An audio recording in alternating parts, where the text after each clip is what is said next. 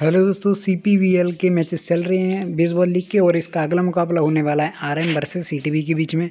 उसकी lines out हो चुकी है तो जल्दी से बात करेंगे ड्रीम टीम की। उससे पहले कर, एक बात कहना चाहूँगा ये कि यदि अभी तक आपने हमारे यूट्यूब चैनल को सब्सक्राइब नहीं किया है तो प्लीज़ दोस्तों अभी हमारे यूट्यूब चैनल को सब्सक्राइब करने क्योंकि बेसबॉल से संबंधित जितने भी मैचेज होते हैं उन सब की अपडेट हम डेली देते हैं। ठीक तो प्लीज़ सब्सक्राइब करना है। आपका एक सब्सक्राइब हमारे लिए बहुत मोटिवेशन होता है। हम आपसे वादा करते हैं कि आपके लिए और अच्छा कंटेंट लेके आएँगे जिससे आप स्वयं ही अपनी ड्रीम टीम बना सको। ठीक दोस्तों? क्योंकि लाइन्स आउट होने वाले हैं दोस्तों तो मैं आपको इसमें से ज़्यादा कुछ नहीं बताऊँगा, सीधे मैं ड्रीम टीम की बात करूँगा, आप देख लेना क्या क्या है, मैंने सारी बातें लिखी हुई हैं। ठीक है दोस्तों, जो भी मुझे इंपॉर्टेंट लगा सब लिखा हुआ है मैंने, लेकिन मैं सीधे ड्रीम टीम की बात करूँगा दोस्तों, क्योंकि लाइन्स आउट हो चुकी है और टाइम कम बचा है। ठीक है दोस्तों तो चलिए ड्रीम टीम की ओर।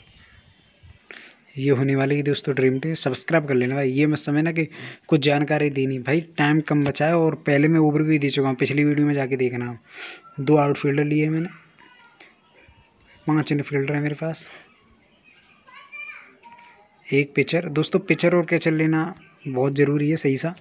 ठीक है, ये स्मॉल लीग ग्रांड लीग दोनों के लिए बेस्ट टीम है। स्मॉल लीग बारह, सत्रह, उन्नीस वाली, ठीक है दोस्तों? और ग्रांड लीग में आप लगाओ तो एक टीम तो यही रहने देनी है आपको। एक में क्या करना है आपको, कैप्टन वाइस कैप्टन चेंज कर देना है। जैसे सी तजू शी के साथ, सी तजू हसैन के साथ लगा देना है, ठीक है दोस्तों? उम्मीद करता हूँ वीडियो पसंद आई। पसंद आई तो लाइक करो, प्लीज़ सब्सक्राइब कर रहा धन्यवाद।